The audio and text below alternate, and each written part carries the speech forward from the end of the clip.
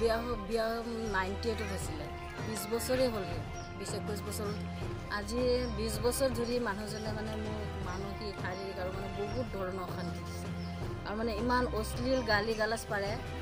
ইয়াৰ মাজতে মানে দুটা ল'ৰা হ'ল মোৰ। এই ল'ৰা দুটাকো মানে এতিয়া ইমান অশান্তি কৰে আৰু ল'ৰা এটা মানে মেট্ৰিকৰ কেণ্ডিডেট। আৰু সি মোক সকলো সময়তে মানে এই কৈ থাকে যে ঘৰৰ পৰা পাঁচ লাখ টকা আনিব লাগিব নানিলে নহ'ব। আৰু আমাৰ তিনিজনক মোৰ ল'ৰা দুটাক আৰু মোক মানে ঘৰৰ ভিতৰত সোমাই জুই লগাই দিম বুলি কয় মাৰি পেলাম বুলি কয়।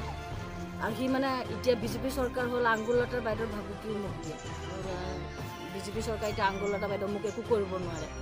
কোনো একো কৰিব নোৱাৰে তেনেকৈ মানে মোক বহুত ধৰণৰ মানে সি ভয় দেখুৱাবলৈ খোজে এতিয়া মানে মই সেইবোৰ ভয়তে ল'ৰা দুটাক লৈ পেলাই মানে মই পলাই আহি বেলেগ এজেগাত আশ্ৰয় লৈ আছোঁ। কাৰণ মোৰ ল'ৰাটোৰ মেট্ৰিক ফাইনেল পৰীক্ষা। ল'ৰাটোকতো মই যেনেকৈ হওক পৰীক্ষাটো দিয়াব লাগিব। এনেকুৱা পৰিস্থিতিতো পৰীক্ষা দিয়াব পৰা নাযায় নহয়। সেইকাৰণে মই ক'ত বিয়া হৈছিলে? এই বৰদোৱা কদমনি চলাপথাৰ বুলি কয় যে চলাপথাৰত হৈছিলোঁ। নে, এতিয়া আপুনি ক'ত আছে? এতিয়া মই বৰ্তমান বুকলুঙত আছোঁ। বুকলুঙত থাকি বুকলুঙৰ ৰাইজৰ সহায় লৈ পেলাই ল'ৰাটোক মেট্ৰিক ফাইনেল দি আছোঁ আজিও এটা পৰীক্ষা আছিল অংক পৰীক্ষা। আপুনি যে পলাই আপুনি ইয়াৰ পৰা পলাই আহিবলগীয়া হৈ গ'ল তেওঁৰ অত্যাচাৰত আপুনি কিবা আইনী কিবা ব্যৱস্থা হাতত লৈছে নেকি? আইনৰ ব্যৱস্থা লৈছিলোঁ মই এছ পি ছাৰ তাত কমপ্লেইন দিছিলোঁ। পিছত ইয়াৰ পৰা কেছটো গ'লোঁ কিন্তু বৰদোৱা থানাত একো সিদ্ধান্ত লোৱা নাই।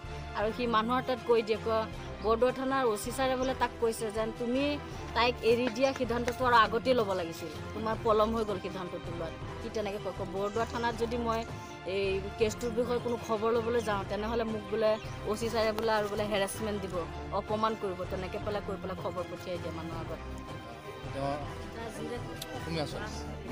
আমাৰ মুছলিম মানুহৰ লগত গৈছে।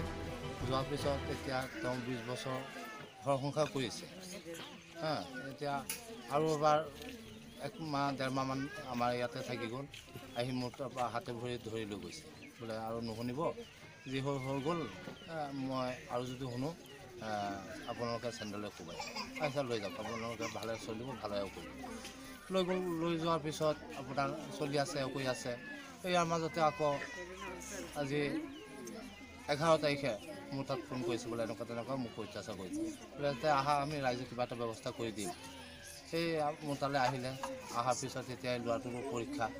হা ৰাইজৰ এতিয়া কি কৰিম? মোৰ অকলেতো সাংগাস্তা নাই। এই ৰাইজকে